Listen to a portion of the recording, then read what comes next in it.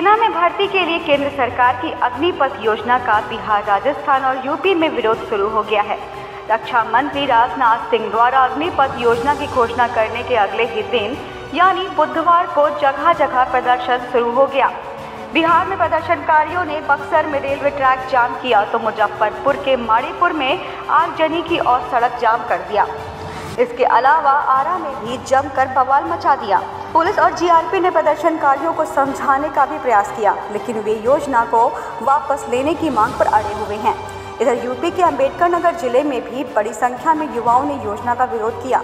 राजस्थान के जयपुर में भी युवा सड़क पर उतर आए और इस योजना को बंद करने की मांग की। अग्निपथ योजना से सेना का ढांचा ही बिगड़ जाएगा। मीडिया के इस सवाल पर पूर्व आर्मी चीफ और केंद्रीय मंत्री जनरल वी के सिंह ने कहा कि कोई भी नई चीज़ आती है तो उसके बारे में तब तक पता नहीं चलता जब तक वो ज़मीन पर नहीं आती। मैं इस योजना को बनाने वाली टीम में शामिल नहीं हूँ। मुझे इसके बारे में ज़्यादा मालूम नहीं है। योजना अभी अनाउंस हुई है। देखते हैं समय पर क्या होता है और क्या नहीं।